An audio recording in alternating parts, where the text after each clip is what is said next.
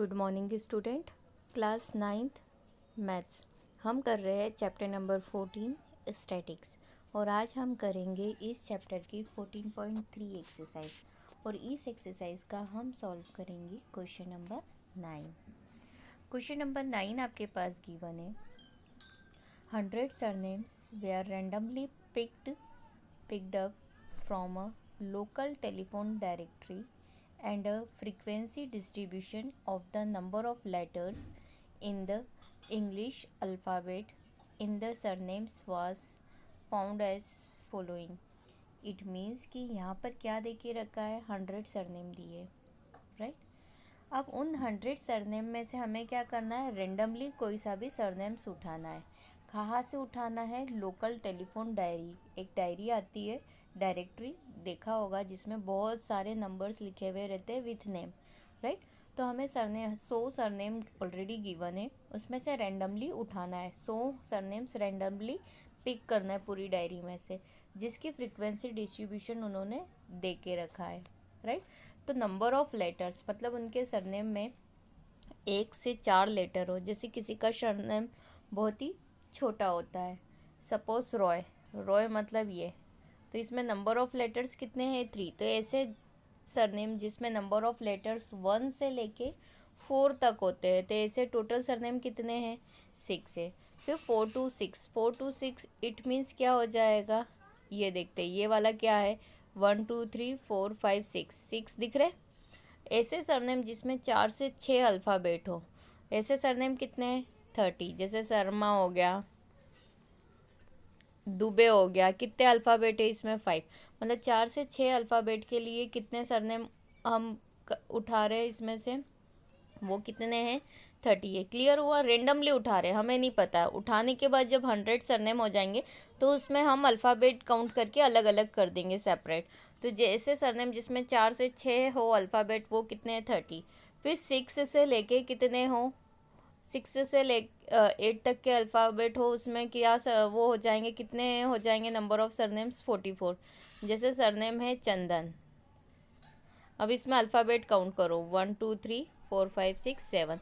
Seven आ रहा है? मतलब सिक्स से एट के बीच में आ रहा है तो ये वाला सरनेम कहाँ चले जाएगा? इस वाले में। तो ऐसे कितने सरनेम है जिसमें अल्फ़ाबेट छः से आठ तक के हो? फोर्टी फोर है। एट टू ट्वेल्व, उसमें कितने हैं? सिक्सटीन।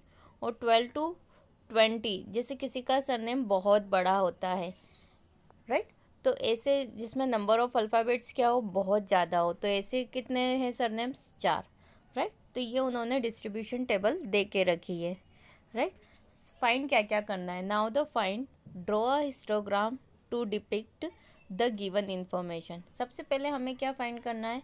हिस्टोग्राम फाइंड करना है राइट अब हिस्टोग्राम फाइंड करने के लिए सबसे पहले आपको पता होना चाहिए कि इन सबका क्लास इंटरवल कैसा होना चाहिए इक्वल और जिस पॉइंट पे एंड हो वहीं से स्टार्ट अब एक कंडीशन तो उसमें क्लियर है कि जहाँ पे एंड हो रहा है वहीं से क्या हो रहा है? स्टार्ट तो हिस्टोग्राम तो बन सकता है, जैसे वन से फोर पे एंड हो रहा है तो फोर से सिक्स फिर सिक्स से एट एट से ट्वेल्व ट्वेल्व से ट्वेंटी एंडिंग पॉइंट तो करेक्ट है बट इसमें क्लास इंटरवल आप देखो तो कितने का है? थ्री का। मतलब फोर में से वन को माइनस करा तो कितना आया? थ्री फोर से सिक्स में कितने का है? टू का। सिक्स से एट में टू का। फिर फोर का और फिर एट का। अब आप देखेंगे कि ये वाला जो डिफरेंस है, ये इक्वल है क्या हर एक में? नहीं। इट मीन्स कि यहाँ पर आपको एक टेबल वापस से बनानी पड़ेगी। मतलब यहाँ पे हमेशा दो चीज़ें ध्यान रखना है राइट एक तो सबका क्लास इंटरवल का जो डिफरेंस है वो इक्वल होना चाहिए। सेकंड जिस पॉइंट पे एंड हो, वहीं से क्या होना चाहिए? स्टार्ट तो एक पॉइंट तो करेक्ट है कि जहाँ एंड हो रहा, वहीं से स्टार्ट है बट इसमें डिफरेंस कैसा है? अनइक्वल है। इसके लिए अब हम क्या करेंगे? देखिए the width of the class interval in the given data is varying definitely अलग अलग है। सब में अलग अलग डिफरेंस आ रहा है। We know that the area of rectangle is proportional to the frequencies in the histogram. Definitely इसमें जो एरिया ऑफ़ ट्रेंगल है, वो किसके प्रोपोर्शनल हो जाएगा? फ्रीक्वेंसी के। मतलब हम फॉर्मूला लगा के एक न्यू टेबल बनाएँगे, जिसके द्वारा क्या बनाएँगे? ग्राफ कौन सा? हिस्टोग्राम तस the proportional of the number of surnames per two letter मतलब हम हमेशा किसका मल्टीप्लाई करेंगे? टू का। पर two letter interval can be calculated as given in the table मतलब सबसे पहले हमें क्या बनानी पड़ेगी? टेबल बनानी पड़ेगी। तभी हमारा क्या ग्राफ बनेगा? हिस्टोग्राम क्लियर तो देखिए, ये ऑलरेडी गिवन है आपके पास नंबर ऑफ़ लेटर्स और नंबर ऑफ़ सरनेम्स ये दो चीज़ें गिवन है राइट ये आपकी हो गई frequency clear one two four कितना गिवन है? सिक्स ले सिक्स सरनेम है। और वन टू फोर में डिफरेंस कितना है? मैंने सिखाया था। Width of the class width मतलब कितने का डिफरेंस है? थ्री का। कैसे पता चलेगा? कुछ भी नहीं करना है। ये जो क्लास इंटर है अपर में से लोअर को माइनस कर देंगे तो ऑटोमेटिक इसमें क्या आ जाएगा डिफरेंस थ्री आ रहा है। सिक्स में से फोर को माइनस करा। कितना आ गया? टू एट में से सिक्स को माइनस करा। कितना आ गया? टू ट्वेल्व में से एट को माइनस करा। कितना आ गया? फोर ट्वेंटी में से ट्वेल्व को माइनस करा। कितना आ गया? एट तो आपको विथ ऑफ़ द क्लास पता चल गई होगी, सबकी अलग अलग आ रही है। अगर ये सेम होती तो हम डेफिनेटली क्या डायरेक्ट हिस्टोग्राम बना लेते राइट बट ये क्या है? अलग अलग है राइट अब लेंथ ऑफ़ रेक्टेंगल तो हमेशा याद रखना फ्रीक्वेंसी अपॉन में डिफरेंस इनटू यहाँ किसका मल्टीप्लाई हो जाएगा? टू का। क्यों हो जाएगा?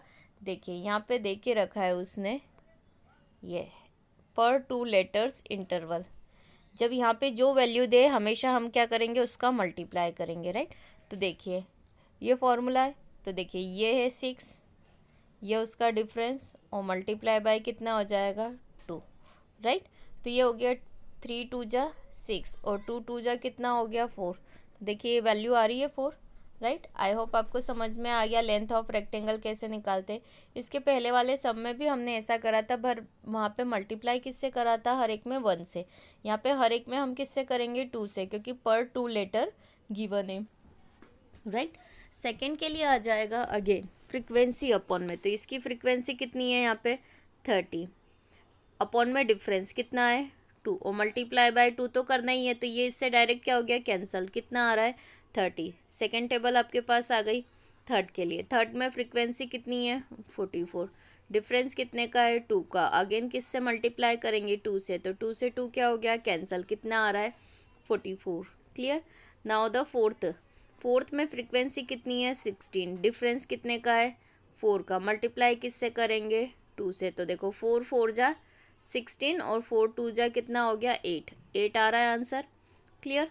अब हमारे पास नेक्स्ट है। नेक्स्ट क्या है हमारे पास? फोर फ्रिक्वेंसी डिफरेंस कितना है? एट है। मल्टीप्लाई किससे करेंगे? टू से। तो देखिए, ये हो जाएगा फोर टू जा एट और ये टू से टू कैंसिल कितना आ गया? वन क्लियर अब यहाँ से ये क्लियर होता है। अब आप देखेंगे कि क्लास इंटरवल कहाँ से कहाँ तक गिवन है। वन से ट्वेंटी या तो आप टू टू का डिफरेंस ले लो, या फिर फोर फोर का। किसका ले लेते हैं हम? एक्स एक्सिस पे किस किस का ले लेते हैं? टू टू का। और लेंथ ऑफ़ रेक्टेंगल कहाँ से कहाँ तक गिवन है हमारे पास? लेंथ ऑफ़ रेक्टेंगल वन से लेके। हाईएस्ट कितना है? फोर्टी फोर तो आप फाइव फाइव का डिफरेंस ले लो। फाइव फाइव का भी ले सकते हैं या फोर फोर का भी? एज यू विश आप पे डिपेंड करता है या फोर फोर का ले लो।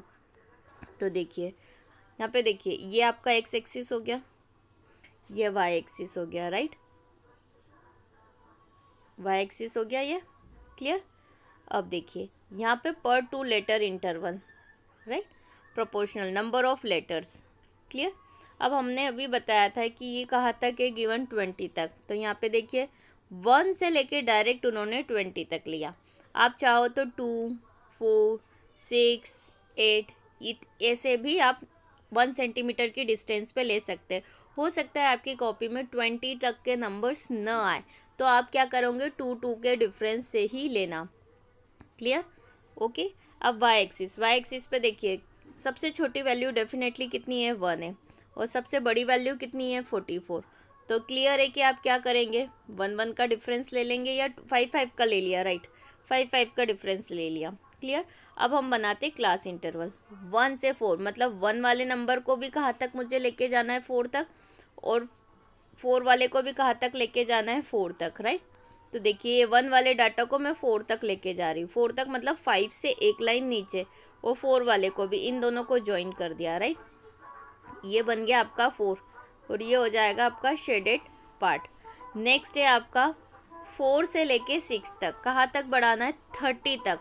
मतलब फोर वाले नंबर को भी मुझे ऊपर कहाँ तक लेके जाना है? थर्टी तक लेके जाना है राइट और सिक्स वाले नंबर को भी मुझे कहाँ तक लेके जाना है? थर्टी तक राइट तो देखिए फोर वाले को मैं बढ़ाऊँगी कहाँ तक?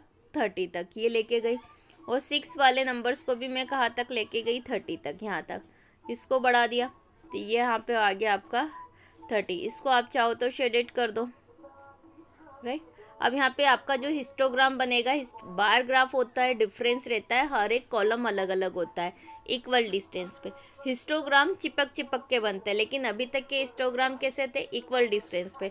लेकिन ये क्या है? अनइक्वल डिस्टेंस मतलब इसका जो डिफरेंस है अलग अलग रहेगा, राइट? थर्ड है हमारे पास six two eight. Six two eight को कहाँ तक बढ़ाना है? फोर्टी फोर तक। मतलब सिक्स को भी आप कहाँ तक बढ़ाओगे? फोर्टी फोर तक। ये फोर्टी फाइव से एक लाइन नीचे फोर्टी फोर तक, राइट? और एट को भी कहाँ तक लेके जाओगे? फोर्टी फोर तक, राइट? इन दोनों को क्या करोगे? मिला दोगे, राइट? ये कहाँ तक हम लेके गए? फोर्टी फोर तक। इसको क्या कर देंगे शेडेड पार्ट आप चाहो तो शेडेड कर दो या खाली भी रख सकते हो डजेंट मैटर राइट उसके बाद हम देखेंगे कौन सा eight two twelve eight two twelve eight को कहाँ तक बढ़ाना? एट तक और ट्वेल्व को भी कहाँ तक बढ़ाना? एट तक। तो एट को तो देखो एट तक मतलब ये यहीं तक का आएगा। फाइव से ऊपर और टेन के बीच में और ट्वेल्व को भी यहाँ तक। इन दोनों को ज्वाइन कर दिया। तो ये कहाँ तक बढ़ाया एट तक? इसको शेडेड कर दिया राइट उसके बाद हम देखेंगे ट्वेल्व टू ट्वेंटी। ट्वेल्व को कहाँ तक लेके जाना है? वन तक और ट्वेंटी को भी वन तक। तो ट्वेल्व को वन तक लेके गए और ट्वेंटी को भी वन तक। इसको ज्वाइन कर दिया। या लिख दिया वन। राइट ये आपका क्या हो गया? शेडेड पार्ट हो गया। राइट तो आप देख रहे होंगे कि हर एक कॉलम कैसे आप पास पास में चिपके हुए। राइट जब अलग अलग हो तो वो बारग्राफ होता है, चिपके हुए हो तो हिस्टोग्राम होता है। राइट तो यहाँ पे आप प्रॉपर वे में लिखेंगे कि देखिए, ये वाले इसको हमने क्या बोला है नंबर ऑफ़ लेटर्स तो यहाँ पे डेफिनेटली मैंने क्या लिखा है नंबर ऑफ़ लेटर्स कहाँ पे? एक्स एक्सिस पे राइट ये वाली वैल्यूज़ आपके पास क्या है? लेंथ ऑफ़ रेक्टेंगल तो यहाँ पे देखिए लिखा होगा लेंथ ऑफ़ रेक्टेंगल आप लिख सकते हो राइट ये आपका वाई एक्सिस है. तो ये आपका क्या बन गया? हिस्टोग्राम सेकेंड क्वेश्चन आपके पास गिवन है. Right the class interval in which the maximum number of surnames lie मतलब ऐसे कौन से अल्फ़ाबेट है, कौन से वाले जिसमें सबसे ज़्यादा नंबर ऑफ़ लेटर्स हो? मैक्सिमम सरनेम कहाँ पर है? तो जिसका कॉलम सबसे ऊँचा है, वो क्या है? मैक्सिमम नंबर ऑफ़ लेटर्स तो six two eight six two eight मतलब ऐसे सरनेम जिसमें छः से आठ अल्फ़ाबेट रहते हैं, वो सरनेम सबसे ज़्यादा है। तो देखो six two eight is the class interval in which the maximum number of surname lie हमें सिर्फ़ इंटरवल बताना। अगर यहाँ पे मैक्सिमम बोला है इन केस थर्ड पार्ट आपको बोल देते हैं मिनिमम नंबर्स मिनिमम मतलब जिसमें सबसे कम सरनेम हो। तो सबसे कम सरनेम वाला कौन सा है?